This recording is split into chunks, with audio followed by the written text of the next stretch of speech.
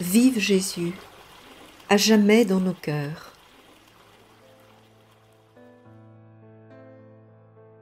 En septembre 1849, le vénérable Père Jean Gaillac écrit à Mère Saint-Jean, à qui il a confié la responsabilité de la maison du Bon Pasteur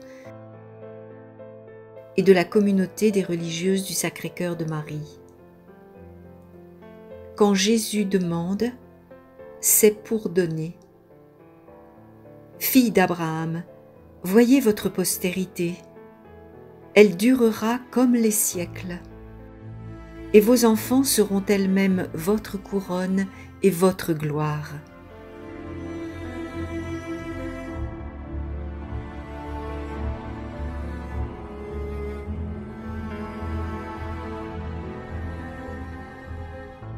Habité par le souffle de l'Esprit reçu de Dieu, Abraham a osé croire à la folle promesse du Créateur de le rendre père d'une multitude innombrable. Le Père Gaillac inscrit Mère Saint-Jean dans la filiation des grands croyants, pour la conforter et l'encourager dans sa réponse à l'appel du Seigneur.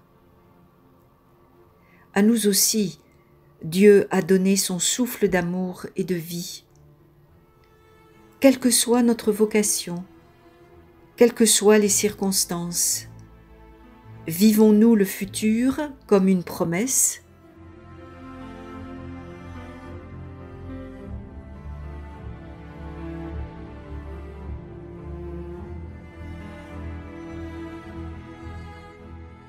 Terminons en faisant nôtre la prière de Mère Saint-Jean.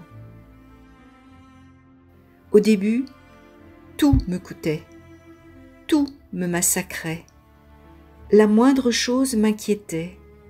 Le moindre sacrifice devenait une montagne, de laquelle j'avais une frayeur mortelle, croyant toujours en être écrasé. Aujourd'hui, c'est bien différent. Je suis toujours disposée à faire tous les sacrifices que Dieu voudra que je fasse. Rien ne me coûtera, parce que c'est pour Dieu que je le fais.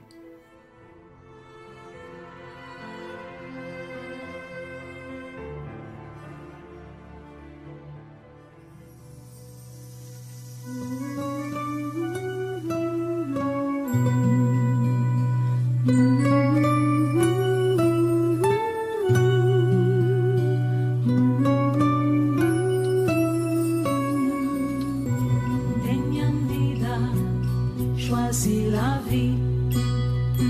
Choose life. Scegliete la vita. Scegliete la vita. Choisis la vie.